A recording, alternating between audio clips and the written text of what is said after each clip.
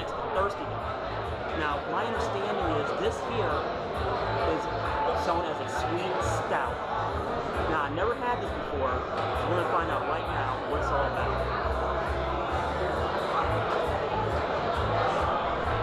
Now, I don't know, necessarily notice the sweetness. Now, it's definitely a brown ale. Now, the first thing that pops in my head, this one would be, um, would be Now, a little more hoppier than I'm used to, but it's actually really good. And I would like to learn more about this particular fruit.